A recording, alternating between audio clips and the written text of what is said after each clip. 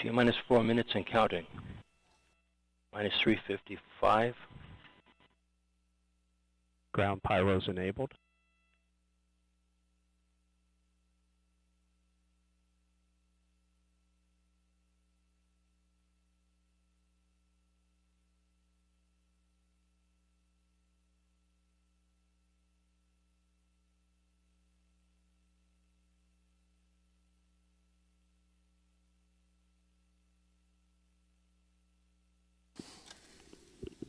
And once again, 325.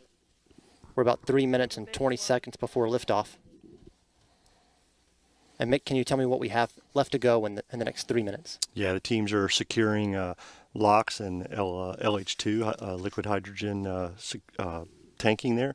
They'll be finishing that up, uh, getting ready to go internal. You'll hear a call for spacecraft uh, power to internal. They'll be arming their flight termination systems and getting ready for launch, and then uh, bringing the Delta IV Heavy launch vehicle onto internal power uh, to uh, prepare for the final terminal count. And it's Minus 249. And we are coming up very shortly on the verification of the spacecraft being on internal. CBC LOX at flight pressure and flight level. Minus 230. NSC verifies spacecraft on internal power. Verified.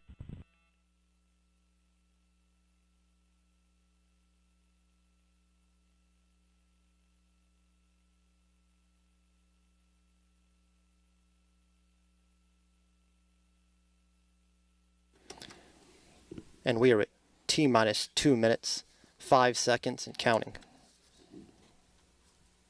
After liftoff, we'll be listening to the voice of United Launch Alliance, Patrick Moore, providing ascent commentary. 155.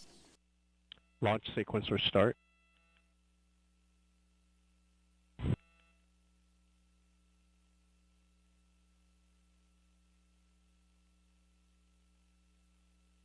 Minus 140.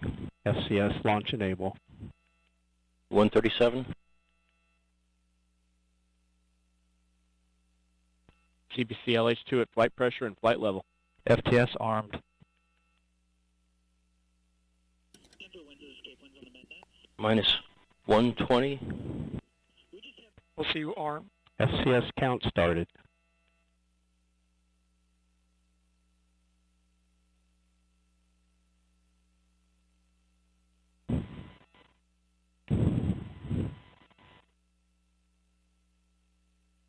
T minus one minute. Engine start box go. Rock, report range status. Range grid.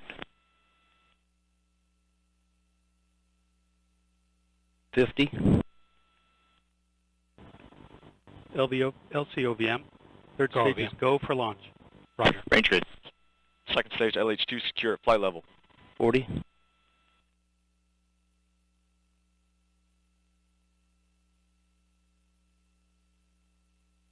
Minus 30. Status check. Go Delta. Go PSP.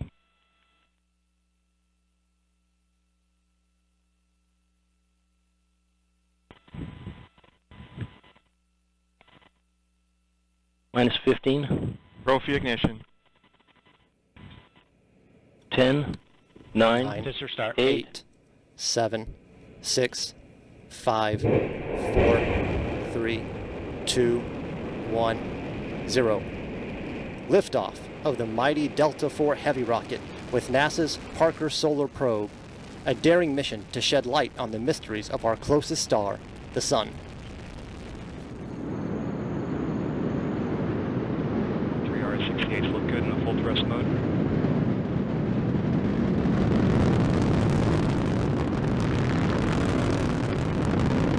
Twenty-five seconds into flight.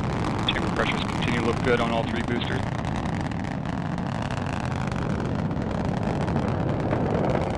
Now 35 seconds in. Chamber pressure on the core booster is uh, throttling down to the partial thrust mode. Response looks good.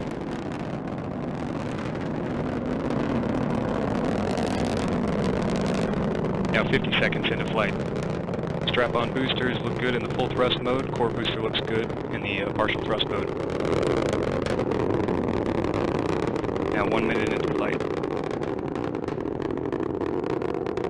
Vehicle trajectory looking good, right down the middle of the range track.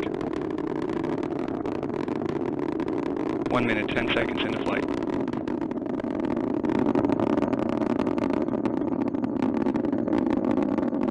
Coming up on one minute, 19 seconds into flight, max Q, maximum dynamic pressure, and Mach 1 Delta 4 is now super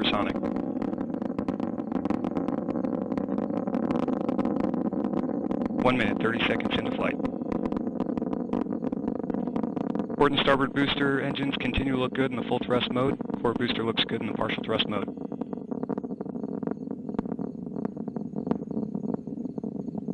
One minute, 45 seconds into flight.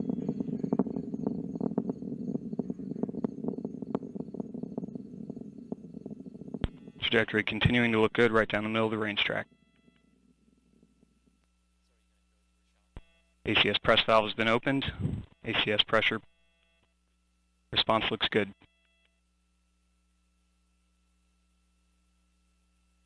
Two minutes, 10 seconds in. Strap-on boosters continue to look good in the full thrust mode. Core booster looks good in the partial thrust mode.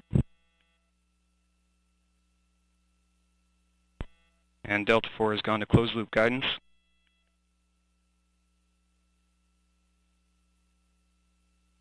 Two minutes, 30 seconds into flight.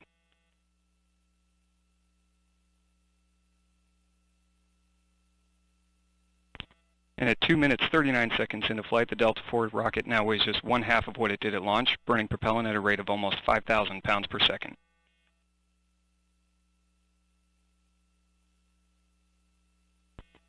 And launch vehicle is now 33 miles in altitude, 49 miles downrange distance, traveling at 4,500 miles per hour. Three minutes into flight. RS-68A engines in the port and starboard boosters continue to look good in the full thrust mode. Core booster looks good in the partial thrust mode. 3 minutes 15 seconds into flight.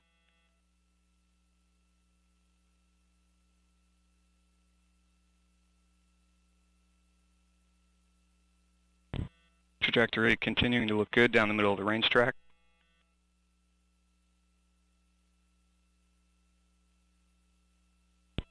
Approximately two minutes remaining in the boost phase of flight.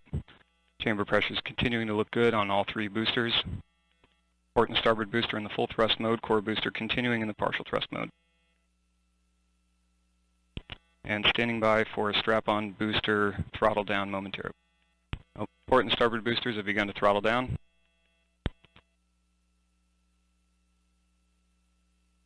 And we have jettison of both strap-on boosters.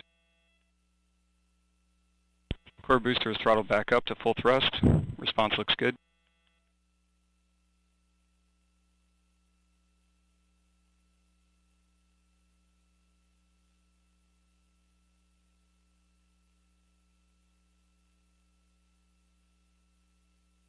Four minutes, 25 seconds into flight. Upper stage LOX system has begun boost phase chill down sequence and one minute remaining in boost phase of flight.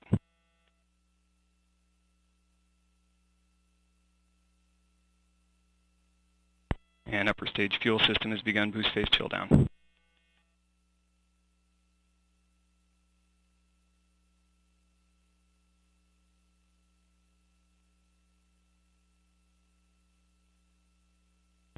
Five minutes into flight, just over 30 seconds now remaining in first stage, first stage phase of flight. Core booster engine continues to look good in the full thrust mode. Vehicle trajectory continuing down the middle of the range track. 5 minutes, 20 seconds into flight. And standing by for core booster throttle down momentarily. Core booster has begun to throttle down. Standing by for BECO. And we have BECO booster engine cutoff standing by for stage sep. And we have good indication of stage separation. NED is deploying. We have pre-start on the RL-10. And we have ignition on the RL-10 engine. Engine chamber pressure looks good.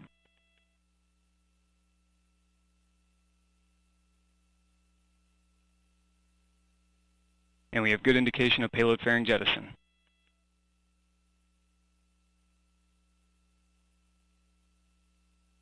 Now 6 minutes 20 seconds into flight. And with the boost phase of flight complete, Parker Solar Probe will now continue its journey to the Sun.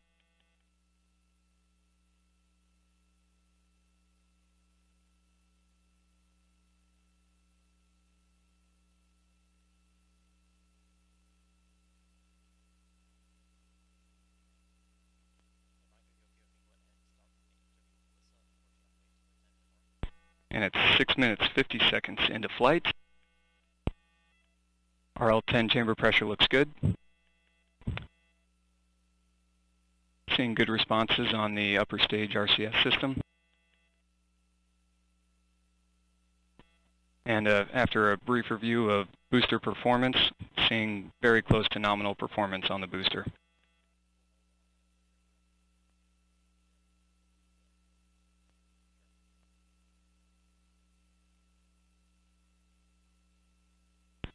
And this first burn of the second stage will last approximately 4 minutes 42 seconds. Now 7 minutes 30 seconds into flight. About 3 minutes remaining in the first burn.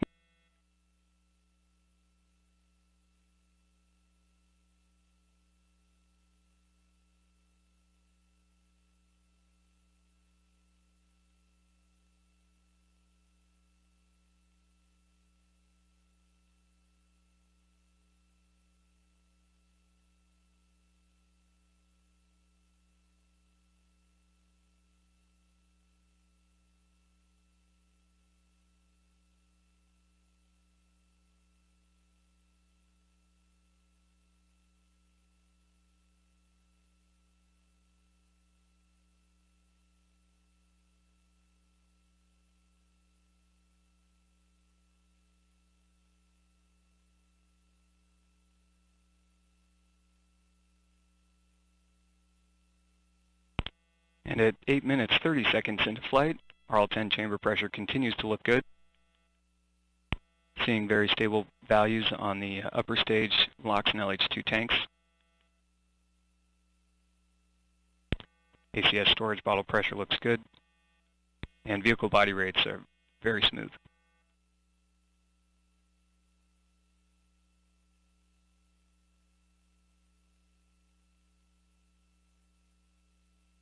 Now nine minutes into flight.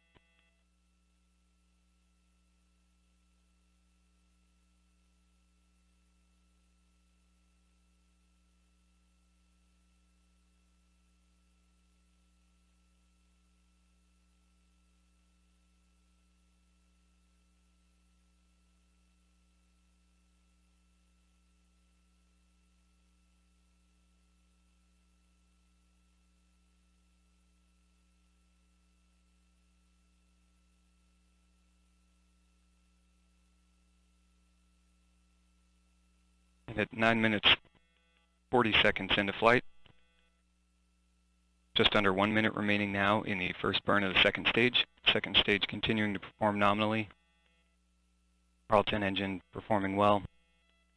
Uh, tank pressures look good. Vehicle body rates remain smooth. 10 minutes into flight.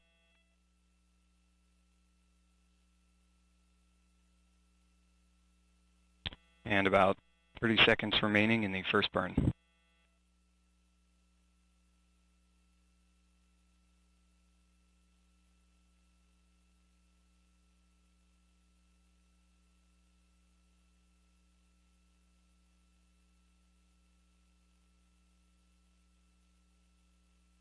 And standing by for MECO 1 momentarily.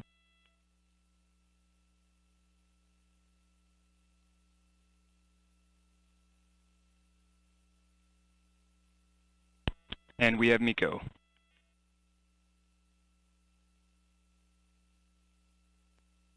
Body rate smoothing out nicely.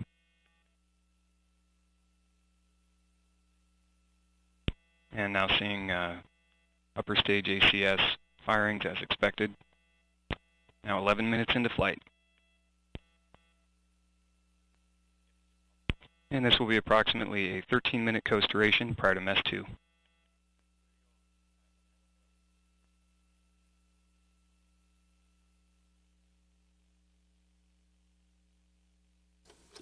From the Mission Director Center, I'm joined once again by Alyssa Macbeth of United Launch Alliance. For those of you that are watching, we had an on-time liftoff today of the Delta IV Heavy rocket. And Alyssa, can you tell me how the launch went? Oh my goodness, that was a beautiful launch. Um, just the sound and everything. Oh, it was great. Um, it's looking good so far too. Uh, we saw good separation of the of the boosters from the main core and the booster from the second stage. Um, just experienced um, MECO one. Uh, there there's going to be two burns of the second stage, so that's coming up. The second burn, second engine start. Um, and then in just 40, approximately 45 minutes, uh, we'll see payload separation. So everything's looking good so far. Great. And can you tell me a little bit about, about, about your experience working with ULA and, and what it's like to work in a mission like this again? Yeah. Um, so I get to I get to work with the the innards of the rocket, the electronics, the avionics boxes, ordnance, pyrotechnics, all that kind of stuff. So, uh, working on a mission like this uh, is something really special. Um, to be able to get your hands on on on a vehicle like this and um, uh, do something that's going to affect the world. Um, is really, really amazing. Well, thank you very much again for being with us, and I think we'll talk to you a little bit later in the broadcast. Mm-hmm. Thank you, Alyssa. Sounds good. Thanks.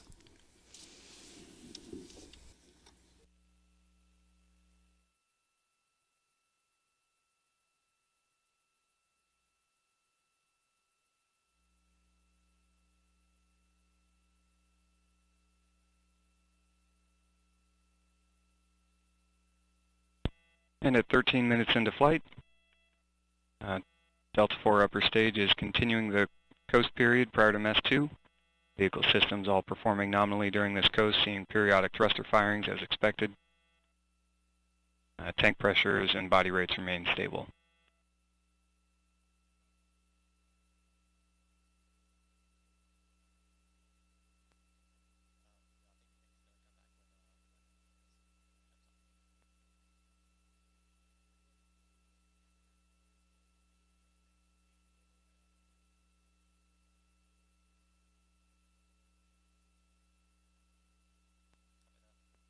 And a uh, brief review of the uh, performance from the first burn, seeing uh, fairly close correlation on uh, major orbital elements. Performance appears to be pretty good.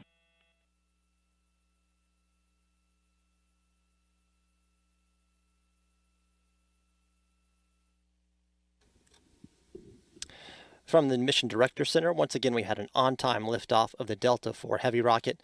On your screen, you were seeing a live telemetry view animation of the rocket on its flight path. Uh, so things are looking pretty good at this moment as we're in a, in a coast phase right now. And we'll go back to Marie Lewis for more on NASA's Parker Solar Probe. Marie? All right, thanks, Josh. And I don't know about you, but here in the studio, we could feel the rocket rumble. And I know for our, our folks here on the TV side, that never gets old. Uh, we have Tori standing by now with a very special guest. We've been talking about him the whole show. And Tori, we can't wait to meet him. Please introduce us. Thanks, Marie. I do certainly have a very special guest with me, Dr. Eugene Parker himself. Dr. Parker, you just watched the launch of the mission that bears your name. What was that like? Well, I really have to turn from biting my nails and getting it launched to thinking about all the interesting things which I don't know yet uh, and which will be made clear, I assume, over the next five or six or seven years. Uh, it's a whole new phase and it's going to be fascinating throughout. I'm anticipating that the results will turn up basic information on why the corona of the sun is at a million degrees. That accounts for the acceleration of, of the solar wind. Uh, well, I'm just waiting for the data now, and uh, the experts can get busy and sort it out because there's an awful lot of data coming in, or will be a lot of data coming in. Uh, all I can say is, wow, here we go. We're in for some learning over the next several years. That's right. So we'll definitely be anxiously awaiting that data and research.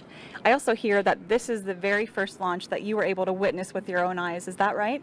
That's right. Uh, the video, of course, has supplied all of us with views of rocket launches, but somehow when you're looking at the real thing, uh, it's quite quite impressive. Nothing compares to the real thing, I would think. Yeah, it's a little like the Taj Mahal. Uh, we've all seen pictures of the building and what a graceful structure it is. But if you happen to be in India and stop by that way, there's the real thing, and uh, video and paintings and so forth just don't catch it somehow. Your mind is in a different state when you're looking at the real thing. Well, we are certainly all honored to have you here with us this morning. Thank you so much for joining us. My pleasure. Marie, we'll go back to you. All right. Thanks, Tori. So great to have him here on the show. Understanding the sun will give us valuable information for future space missions. Mike Ryschkewitsch from Johns Hopkins Applied Physics Laboratory is live on set now with NASA Edge's Blair Allen. Blair? Thanks so much, Marie. Listen, I got to tell you, I'm very excited, but I want to know did you get out and see the launch, witness it firsthand? Oh yeah, I'm really excited. I had to run outside, and it was an absolutely beautiful night. The uh, the shock waves rolling over you, the uh, beautiful sight of those uh, three boosters rolling in. We could see it a long way. We could actually see the uh, the burnout, which was at about uh, t plus four minutes. So really exciting night. Now, what you work with primarily at the Applied Physics Laboratory is uh, space ex exploration. How does a mission like this, we know the valuable science that it's going to get, but how does this help other missions in, in, with regard to space exploration? Well, this is going to be a really big deal, not just for space exploration, but people on Earth. Um, you're going to, we're going to get a lot of new knowledge, which is going to help uh, predictions and warnings of severe solar events that can take down the power grid or other pieces of our technological society. And then as we go uh, ever more uh, further into space, uh, robotically or human, uh, it's important to be able to get better forecasts and warnings for uh, the operators of the robotic spacecraft and the people that go there. It's today we're kind of like the mariners were in a few hundred years ago, where you didn't get warnings of hurricanes, and we want to be able to provide those warnings so we can keep people and uh, hardware safe. Yeah, exactly. Keeping our hardware safe and all those future missions we have, and even some of our current missions will be able to help them as well. Yes. Um, no doubt. Um, you know, we try to design to, to uh, withstand the harshest environment, but it's always uh, worthwhile to have a good warning and know when you got to hunker down and play things safe until the storm blows over, so to speak. Yeah, exactly. Well, I, I, appreciate it. Thanks so much for coming off console to be with us for a few minutes and answer some questions. We look forward to getting great things from Parker Solar Probe. Thanks. We look forward to it too. You know, we got a starting line and a finish line. Finish line for the development team and the launch team, and the starting line for the science team for seven years of discovery. So, awesome. Thanks. Yep. Back to you, Marie. All right. Thanks, Blair. So, how do we get close enough to the sun to actually sample its incredibly hot atmosphere? It's complicated, but NASA's Tori McClendon caught up with Dr. Nikki Fox, project scientist for this mission, to help illustrate Parker's path. Thanks, Marie. Nikki, thank you for being here. You're welcome. So there's so many fascinating things about this mission. One thing that I find particularly interesting is the unusual orbit that Parker's going to take once it launches. Can you explain that? Yes, once we're in space, uh, it's a very busy first couple of weeks for us. Uh, we have to get it commissioned and all ready to go because just six weeks after launch, we encounter the planet Venus for the first time. We use Venus to give us a little gravity assist. Basically, it's like a little handbrake turn and it focuses our orbit in towards the sun because we don't want to be dragged around in any way or influenced by the Earth's orbit. And so during our 24 orbits of our seven year mission, we actually will do these flybys of Venus another six times. And each time, as you can see from this animation, our orbit is getting smaller and smaller until those final three orbits, we are at our final closest approach. Speaking of closest approach, can you describe exactly how close the Parker Solar Probe spacecraft is going to get to the sun? Yes, at our closest approach, we will be 3.83 million miles above the sun's surface. And I realize that you just thought, million? That doesn't sound very close. Right. But you know, the Earth and the Sun are 93 million miles apart. And so if I put the Earth and the Sun in the end zones of a football field, Parker Solar Probe would tuck and run all the way to the Sun's four-yard line, well in the red zone, knocking on the door for a touchdown, right by that goal line. Well, that sounds extremely close to me. So I'm sure that folks are now wondering, how is a spacecraft not going to burn up at the four-yard line? We have a wonderful heat shield that uh, we keep oriented between uh, us and the sun. And so it keeps everything in the main body of the spacecraft nice and cool. It kind of creates a shadow. And it has a white coating on it that was specially designed for Parker Solar Probe, very much like you prefer to be in a white car on a hot day instead of a black car on a hot yes. day. The heat shield is glowing and it is reflecting a lot of the sun's energy. And so the front side of the heat shield gets to about 2500 degrees Fahrenheit, but everything on the main body in that shadow is at about 85 degrees Fahrenheit. So much like a pleasant Florida evening. That sounds so lovely. Well, Nikki, thank you so much for being here today. Uh, we're all extremely excited about this mission, Go Parker Solar Probe. And with that, Marie, we'll go back to you. We are coming up on another major milestone in Parker Solar Probe's flight. Let's, ho- let's head over back over to Josh for the latest. Josh? Thank you, Marie. I'm here again with Alyssa McBeth, and we've been monitoring uh, the flight uh, as it's gone so far. And can you tell us a little about uh, where we are now and what's about to come up next? Yeah, so as I mentioned earlier, there was two burn two burns of the second stage. So we're about to come up on that that second burn. Um, after that, the engines will um, light and uh, will enter that that phase, uh, and then they'll cut off and we'll enter into a coast phase right before second stage separation. Um, then uh, the third stage will ignite um, at approximately um, 37 minutes into the flight, um, and that will be our last and final burn before spacecraft separation. So we had a great launch on time this morning at 3:31 a.m. But there, but there's still more work to do. There is uh, before the spacecraft separates. Mm-hmm. And uh, can you tell me what's what's next for, for United Launch Alliance? Yeah, our team is still working to. They're monitoring data uh, in the launch control room and in Denver as well as here. Um, just looking to make sure everything looks nominal. Um, that the booster performed. They're probably looking at data from the booster and make sure sure everything looked looked clear and good there. Um, and as we continue through the flight, they'll continue to do that. Well, once again, you're looking at a live telemetry feed here. That's It's an animated feed that you see of the second stage. Uh, when the very top of it, you see NASA's Parker Solar Probe there, uh, which is moving toward its separation time. And we just have confirmation of ignition of the RL-10 engine. And with that, Alyssa, thank you for joining us today, and uh, thank you for a great launch. Thanks for having me again. Yes. Thanks.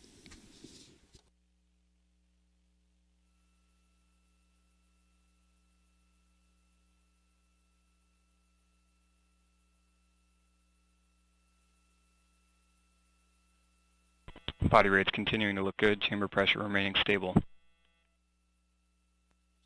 24 minutes, 5 seconds into flight.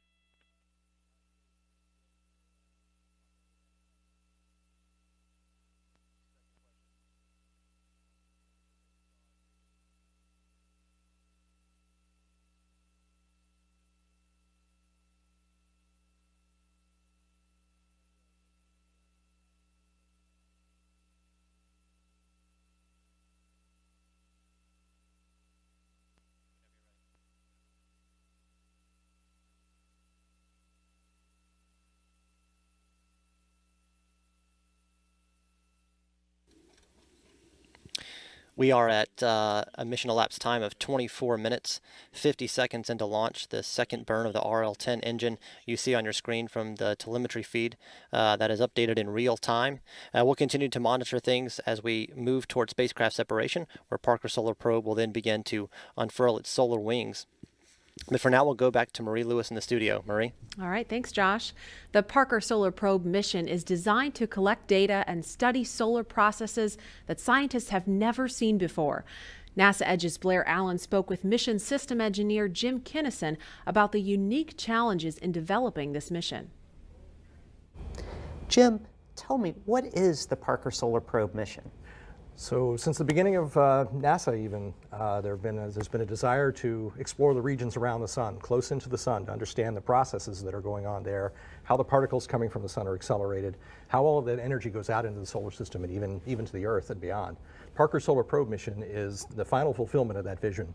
We'll be able to fly the spacecraft into very close regions of the sun, make those fundamental measurements by taking this approximately 10 foot long spacecraft with a nice heat shield on the front, and keep it pointed in the sun to protect all of those things that allow us to make those measurements. Why has it taken so long uh, to get a mission like this together? Because I, I, know this is all new technology. So there have been some fundamental technologies that we've had to develop over the years, and there have been many people working for decades really to get those technologies in place. Some of those are things like the heat shield. Some of it is also in the area of developing the systems we need to control the spacecraft we're in those regions. Parker Solar Probe is a very autonomous system. It has to maintain itself without a lot of help from humans. So the ability to do that in space is really one of those fundamental technologies we've had to develop. We've also had to develop things like cooling systems for solar arrays so that we can power the spacecraft when we're close to the sun and maintain those temperatures and that allow us to continue to make the measurements. Couldn't you just like use one really small solar panel for right when you get close and get all the energy you need? So surprisingly enough, we actually do that. When we get close to the sun, we actually take those solar panels and tuck them behind the shadow of the heat shield until only the very tips of the solar array are, are generating power. So it's essentially that idea. Yes. I, I, should have been. I should have been an engineer. exactly. anyway, that's really awesome. Now I understand uh, we're going close to the sun, but but you're not just flying to the sun. How, are, how is this mission oriented to get to the sun and get those so measurements? You're absolutely right. It's, um, it's actually a fairly complicated process to get there. We'll be launching a very large rocket to give us a lot of delta V that allows us to take out a lot of the Earth's angular momentum so that we can sort of fall into the sun, but that doesn't get us there. We actually have to do a flyby of the planet Venus and use our gravity assist to take more angular momentum out of the system so that now we can make that first approach around the sun. We'll continue to make several more Venus flybys, and every time we do that, our perihelion, the closest approach to the sun, will get closer and closer to that point where we finally are seeing the science that we want to see. So how long is the Parker Solar Probe mission? It's about seven years to get the final set of data that we want to get. Um, we'll be making 24 passes close to the sun in those seven years, starting out at about six months for each orbit, and then down to about three months per orbit by the time we get to the end of the mission what happens after seven years? I mean, do you are you, are you going to get pulled into the sun, or, or could you operate beyond that if, if possible? Or we will likely at some point run out of propellant, and propellant is the thing that allows us to, to correct for momentum and for and to point the spacecraft. Once we run out of propellant, the spacecraft will actually start rotating just because of the natural forces around the sun and the pressure of the sunlight on the on the spacecraft itself. And surfaces of the spacecraft which are not supposed to see the sun will see the sun eventually and so um, that will have all sorts of effects that we don't really understand, and eventually the spacecraft will join the, the dust cloud around the sun. See, that's why I asked the question, because Captain Kirk went around the sun and they actually went back in time. So I was just trying to find out if there was some extracurricular uh, mission op that, that might send you back seven years so you can get seven more yeah, years of data. He had the advantage of having warp drive. We don't have that. uh, well, uh, you know, something to put into development. That's right. Josh is standing by with a representative now from Northrop Grumman who has a big role in this mission. Josh? Thank you, Marie. And we're sitting here continuing to monitor the, the burn uh, that we have here before main engine cutoff 2, which is uh, approximately about 8 minutes and 30 seconds away uh, for the burn of that engine. Um, and now I'm joined by Katie Nieves from uh, Northrop Grumman. Katie, can you tell me a little bit about yourself and uh, what you do at Northrop? Uh, sure. I'm a project manager for the Space Launch Program supporting uh, Parker Solar Probe team. And uh, can you tell me what Northrop Grumman's role is uh, with this launch? Uh, Northrop Grumman Innovation Systems and uh, sector and the divisions uh, within it have really supported this mission tip to tail. Um, starting with the large composite structures, basically everything uh, white on the on the vehicle the nozzles, uh, the fuel tanks, and certainly what I'm uh, most familiar with, the third stage. And right now you are looking at a, a live shot there. Um, that's live telemetry that we're getting. The second stage engine continuing to burn, but after that, the third stage, um, the stages will separate, and then we'll have third stage ignition. And can you tell me what is unique about this mission uh, for Northrop Grumman?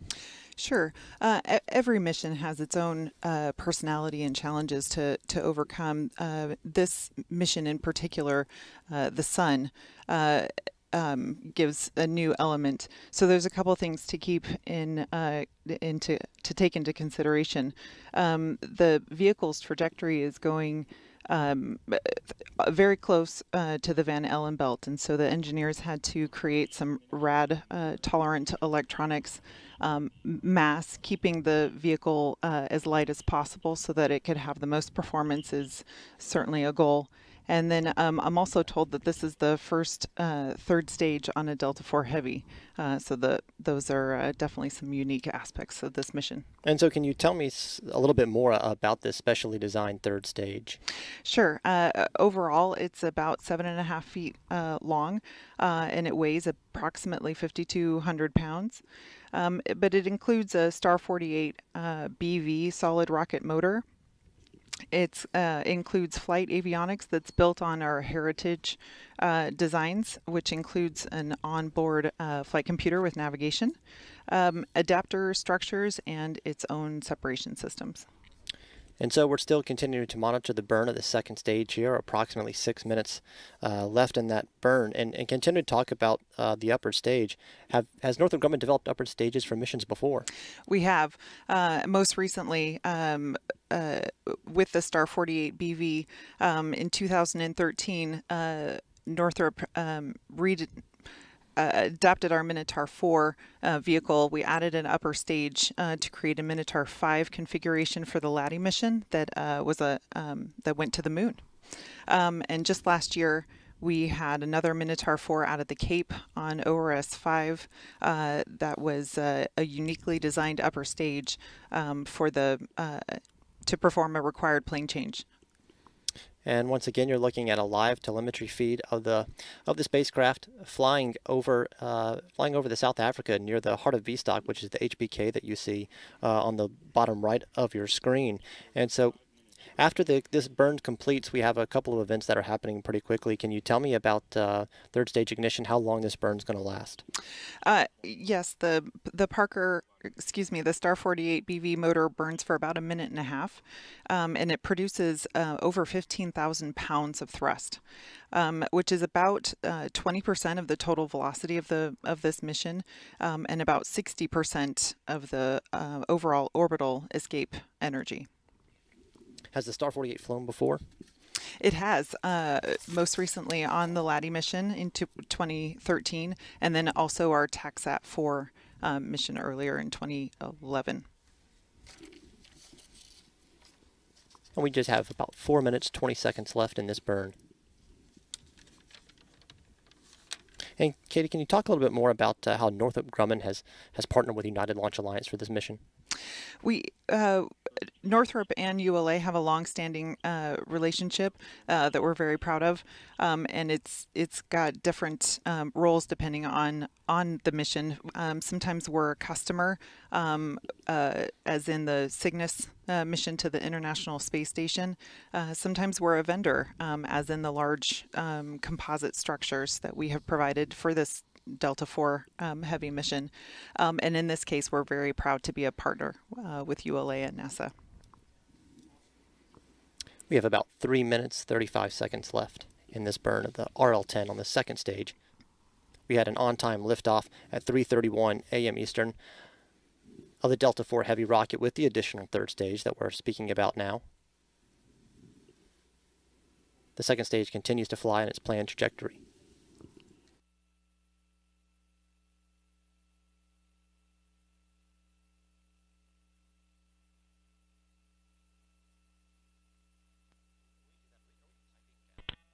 And about three minutes remaining in the burn. RL-10 chamber pressure continues to look good. Second stage fuel and oxidizer tank pressures remain stable. ACS press bottle uh, also looks good.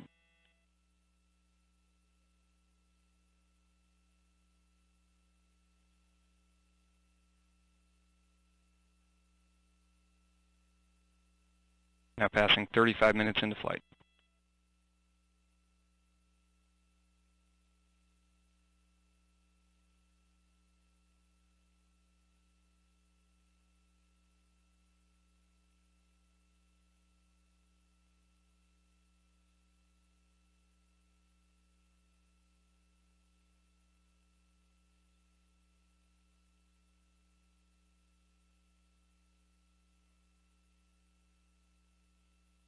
And at 35 minutes, 35 seconds into flight, approximately two minutes remaining until MECO 2. At MECO 2, the second stage will send a discrete command to the third stage to begin the initialization sequence. At that point, we should expect to start seeing uh, telemetry data from the third stage through their transmitter. 20 seconds after separation of the second and third stage, the third stage will ignite. And it will begin its 89 second burn.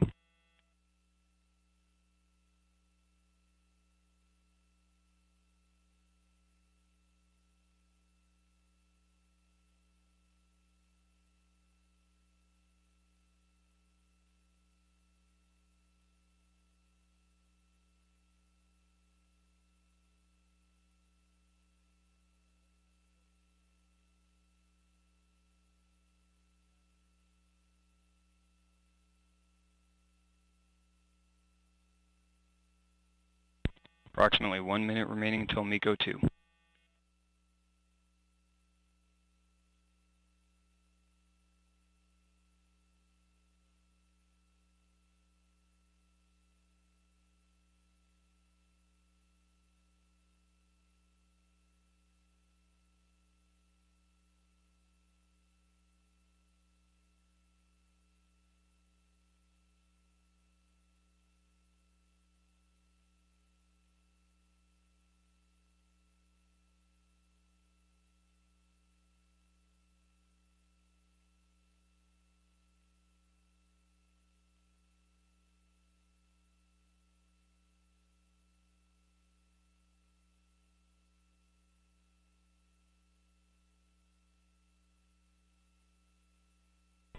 And standing by for MECO momentarily.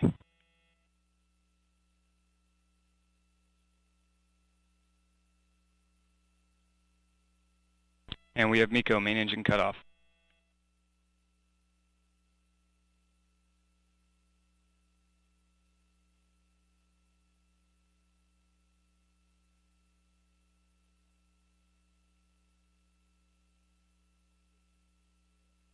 Now passing 38 minutes into flight. Third stage transmitter is on.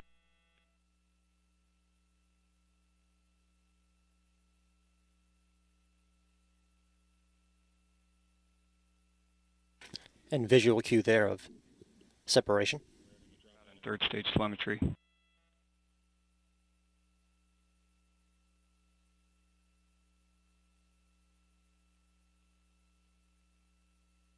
And we have acquisition of third stage telemetry.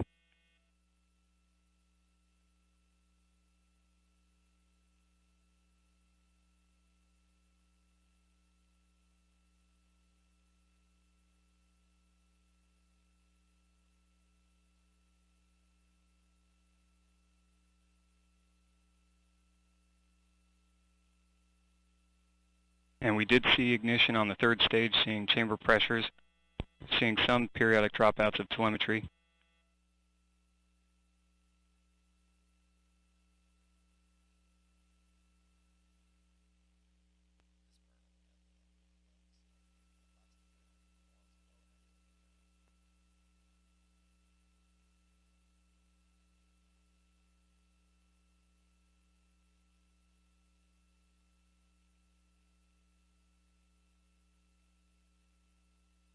Now 39 minutes, 30 seconds into flight.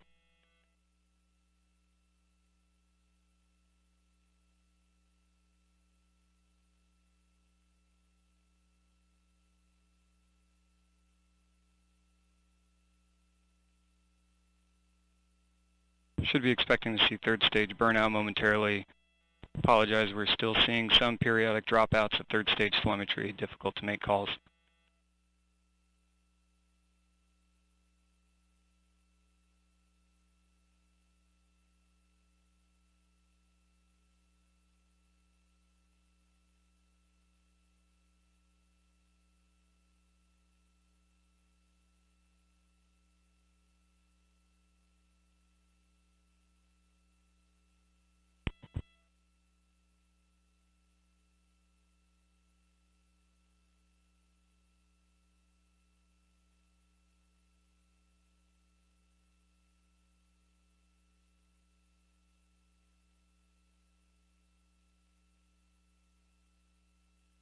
And at 40 minutes, 40 seconds into flight, still um, seeing some telemetry dropouts from the third stage.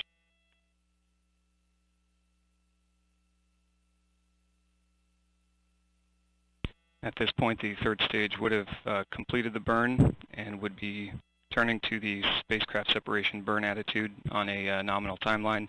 Still looking for some data to confirm that.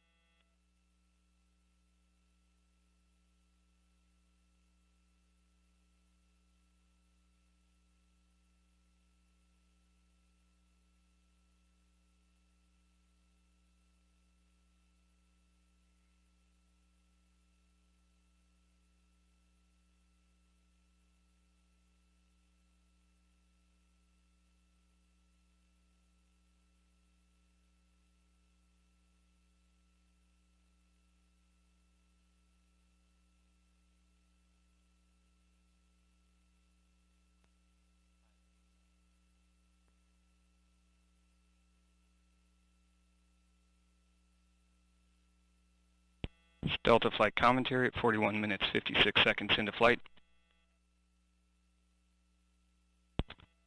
We are uh, still experiencing some dropout of third stage telemetry, trying to confirm that uh, the sequence of events, and we'll provide updates when that's available.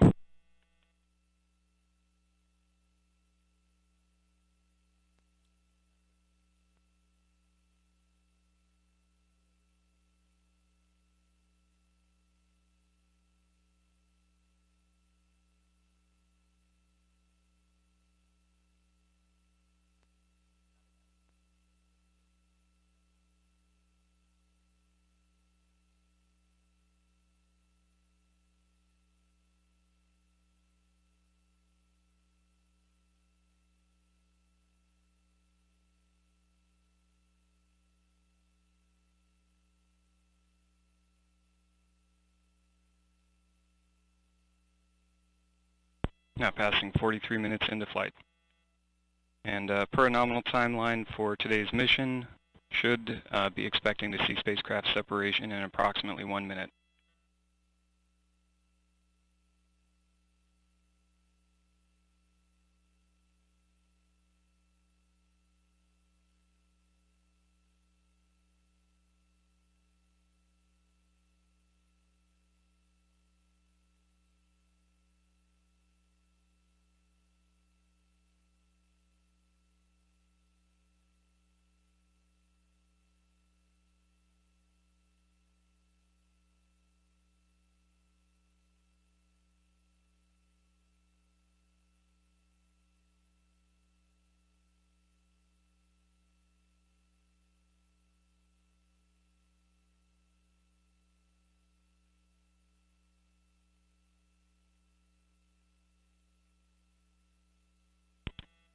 And we've been informed that uh, the third stage is providing data to a ground station. Do not have real-time data, so we will provide updates of those uh, events as they come in from a playback.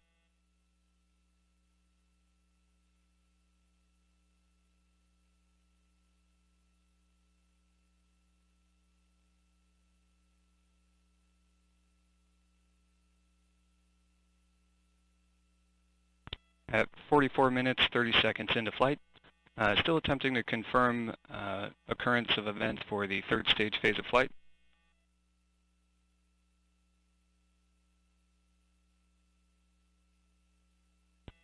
And per a nominal timeline, should have expected to see spacecraft separation within the last minute.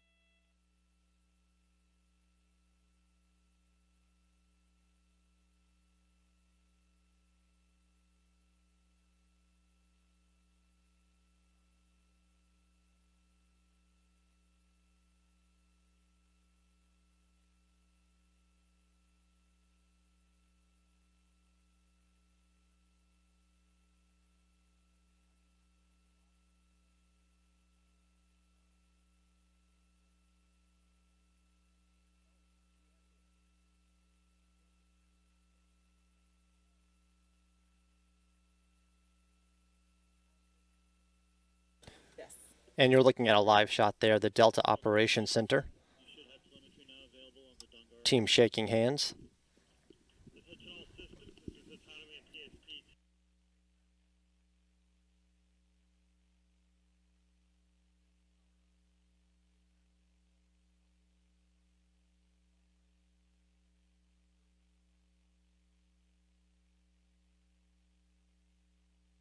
Teams in the Delta Operations Center shaking hands. Now the United Launch Alliance Mission Control Room. We have had confirmation of spacecraft separation.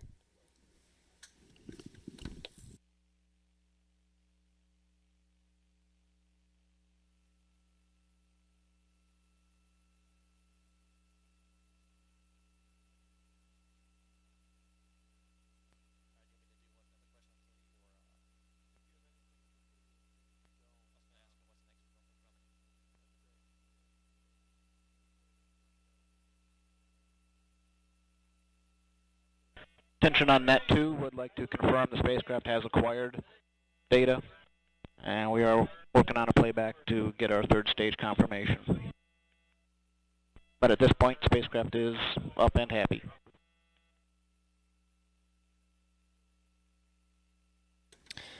And confirmation of spacecraft separation there. You're looking at a live view inside the Johns Hopkins Applied Physics Laboratory where teams were just celebrating. And I'm still joined here by Katie Nieves of Northrop Grumman. And Katie, can you tell me what's next for Northrop Grumman? Uh, well, congratulations to the entire team. Um, best of best of luck for Parker Solar Probe.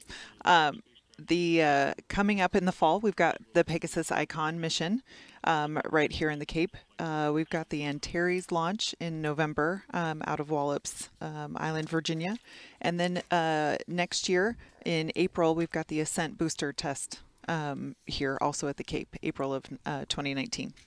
Well, thank you very much for being with us tonight and enjoy the rest of your day. Okay, thank you for thank having you. me.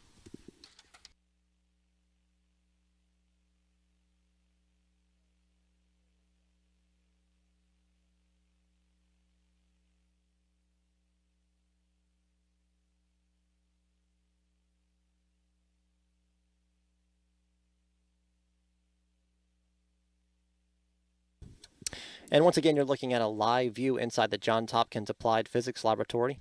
We've just had confirmation of spacecraft separation, so the teams were pretty cheerful, pretty joyful in the room there. We did have an on-time liftoff of the Delta IV Heavy with the additional third stage this morning at 3.31 a.m. Eastern Time. But for now, we'll go back to Marie Lewis in the studio. Marie? All right, thanks, Josh. In order to collect data for this mission, Parker Solar Probe is outfitted with several sophisticated instrument suites. NASA Edge's Franklin Fitzgerald spoke with project scientist Nikki Fox about the diversity of data researchers will study. You're going to be collecting a lot of science data with Parker Solar Probe. Tell us about the instruments you're going to use to collect that information. So we have a wonderful payload that was very carefully thought about and put together to make sure that we could make all of the measurements that we really need to do to answer these groundbreaking science questions. So we have four instrument suites. We have a white light imager, which we call WISPR, that is going to look around the side and take images of the solar wind that is about to impact the spacecraft. And so it's really going to help us kind of unlock all our other measurements. We have the fields suite that is going to measure all of the electric and the magnetic fields that now if you think of taking any material and heating it and cooling it many times, say 24, which is the number of orbits that we have, most of the time it will change its property. It will either become elastic or it'll become brittle, but it won't be the same 24 times later all of our materials have to be the same. And so finding materials that would actually be able to withstand these changes was of course a challenge, and then testing them. The Parker Solar Probe spacecraft will be seeing just less than about 500 times the amount of sun we see here at Earth. So 500 suns in the sky is what Parker Solar Probe will be experiencing. And so how do you test it? We actually had to build test facilities just to be able to do this. We used reconditioned IMAX projectors because it turned out that the light that they put out is very much like sunlight. And so every single thing about this mission is challenging. Well, can I go back to the IMAX projectors? Mm -hmm. what, what does that look like? How many projectors? What, what kind of facility do you construct this, this projector field to do this test? So the original plan for this particular instrument was to use a solar furnace simulator in France. Uh, the problem there was that it obviously it only works during the day and it only works if it's not cloudy. Um, and so we couldn't get long runs to be able to get continuous hours and hours and hours worth of data. And so they actually constructed their own test facility. So up at the Smithsonian Astrophysics Observatory in Boston, they actually constructed basically a, a, a vacuum chamber and then they took the six IMAX projectors and sort of chained them together and so that that would provide this, the right amount of illumination with the right amount of scattering angle for the light, the heat, and also firing particles at the same time to be able to really simulate what that instrument is going to see when we get very close to the sun. Is there an opportunity for Parker Solar Probe to collect any science on its way to Venus and, and back to the sun? So our intention is to have the instruments on it as much as possible. So we will have them on for the full journey in around the sun and the full journey out. The only time that we will not have the instruments on really is if we're doing a major maneuver on the spacecraft or if we're sending our data down when we need all the power to go into the system that is going to transmit the data. And so we switch off the instruments during those periods. I often get asked, are you going to do science around Venus? And unfortunately, my quick answer is always no, because whenever we are flying past Venus, that is our prime time to get our coronal science data down. And so the instruments are planned to be off when we do our Venus flybys. There is one later in the in the mission. We actually do seven of them. There is one when the instruments can be on, and we are excited about what kind of science we'll be able to do then. But that's a number of years away, and few days away from launch. Um, everybody's focusing on the on the launch right now. Where are you going to be for launch? For the launch itself, yes. I will be um, honestly as close as physically possible to the Delta IV Heavy, but um, in reality, I will be somewhere around the press building, um, probably uh, looking through my fingers at um, at the, the, site of the, the Delta IV Heavy. But actually, if they let me light it, I would. I'm sure you would. It's taken us 60 years to get through technological advances that will get us ready to launch Parker Solar Probe to the sun, as you saw a little bit earlier. And here's why it won't melt as it flies through the sun's corona.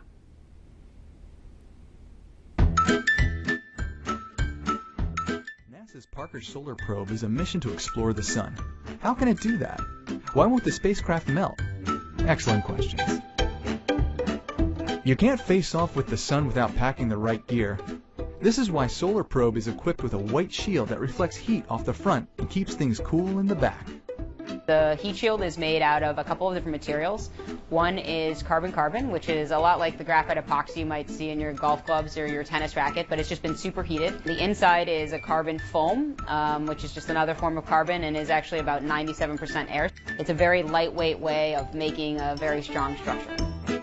Nobody likes a needy explorer. Solar Probe can take care of itself, thank you very much. And that's because it has autonomy software that will keep its instruments safe and cool behind the heat shield. We're too far away to joystick it into place, so it basically has to always be sensing whether or not uh, the heat shield is in the right position and correct itself if it isn't. There are these things called solar limb sensors that are just poking out at the very edge of the shadow, and if those get illuminated, the spacecraft knows, oh, I'm, you know, going the wrong direction and can actually right itself. It's important to stay hydrated in the sun, even for a spacecraft. Solar Probe circulates water to keep the solar cells from overheating. It stays cool and keeps power. So basically, water flows behind the solar arrays and into the radiators, and so the water warms up when it's uh, behind the solar cells, and then cools down up at the radiators. And so that heat transfer is happening a lot like the veins in your body. Yes, you read right. Heat is not the same as temperature. Temperature is a measurement, but heat is energy transfer. This matters because Solar Probe will be visiting the sun's outer layer, the corona. Like all stars, the sun is made of plasma. How tightly packed that plasma is depends on the layer. While the sun's corona has a very high temperature, the plasma particles are fairly spread out. So even though the temperature in the corona is 2 to 3 million degrees Fahrenheit, the heat around the spacecraft is manageable. The corona and where we're going is actually not that dense at all. There are only a couple particles. And so when we think about it, those are very hot. but we're not touching a lot of them. It's the kind of like when you put your hand into an oven, and the oven might be at 4 or 500 degrees Fahrenheit, but your hand isn't at 400 or 500 degrees Fahrenheit. Thanks to its design and destination, this cool, confident spacecraft is all set to explore. We can just sit back and chill as Parker's solar probe takes the heat.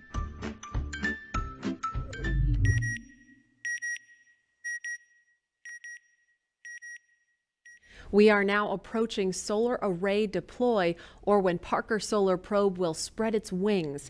Let's go back to Josh in the Mission Director Center to walk us through this next event. Josh?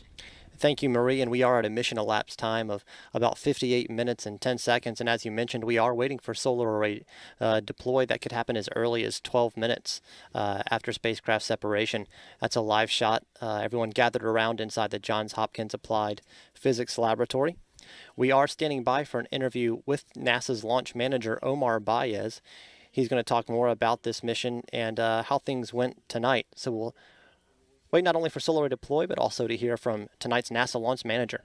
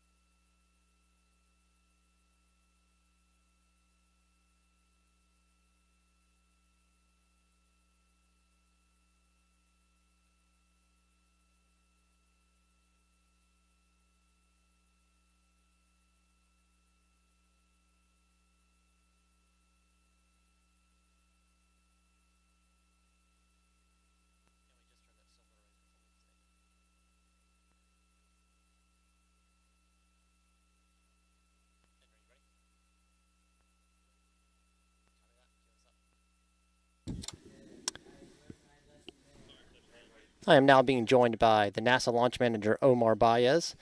Uh, Omar, can you tell us how the mission went tonight, how the count went? So the, the count went uh, splendid today. Uh, very boring, which is awesome for this kind of launch. Um, um, you know, we had a, a tough day yesterday and weren't able to get off in the allotted time that we had. And today just went completely opposite of it. Very quiet all day and uh, virtually had no anomalies to work. And the weather cooperated with us. Uh, and uh, it went off like clockwork. Can you tell me the importance of uh, the Parker Solar Probe mission to LSP, to the Launch Service Program?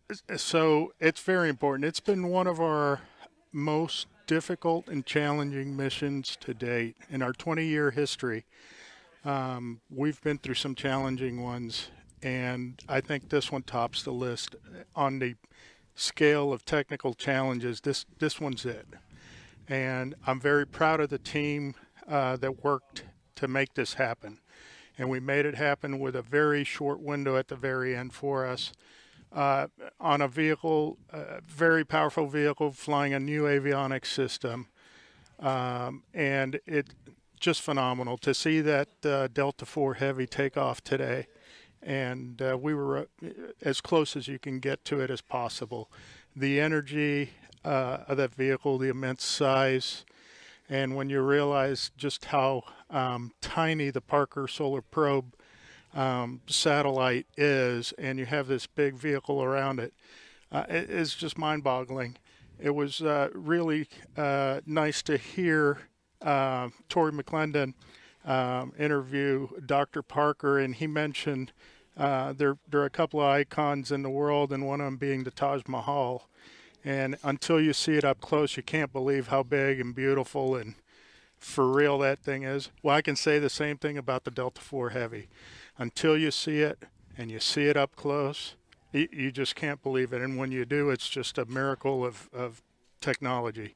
And uh, uh, we at NASA and the Launch Services Program are uh, thrilled to be part of this mission. And uh, it's, it's been a busy year so far for NASA LSP. And can you tell us what you have coming up next?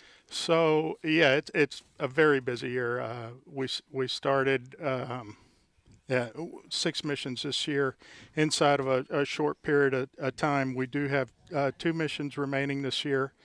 The ICESat mission on the very last Delta two out of uh, Vandenberg Air Force Base, and we look forward to uh, transitioning the team as soon as they get a night's rest over to Vandenberg so they could do a uh, mission dress rehearsal or a mission uh, um, a crew cert, which is the tanking test of the Delta II uh, this coming Wednesday in preparation for launch of the ICESat-2 mission on September 15. Well, Omar, thank you very much for uh, being with us tonight. It was a beautiful launch. And um, we did receive confirmation that the solar arrays had fully extended. Uh, so with that, Marie, we'll now go back to you in the studio. Thank you. All right, thank you so much, Josh. This concludes our live coverage of the launch of Parker Solar Probe to learn the secrets of the sun's atmosphere and help protect our assets in space. For more information about the Parker Solar Probe mission, visit nasa.gov. I'm Marie Lewis. From all of us here at Kennedy Space Center, Thank you for joining us this early Sunday morning. We will leave you now with replays of Parker's launch to touch the sun. Have a great day. Trophy ignition. 10, 9, Nine start. 8, 7, 6, 5, 3, 2, 1, 0. Liftoff of the mighty Delta IV Heavy rocket with NASA's Parker Solar Probe a daring mission to shed light on the mysteries of our closest star, the Sun.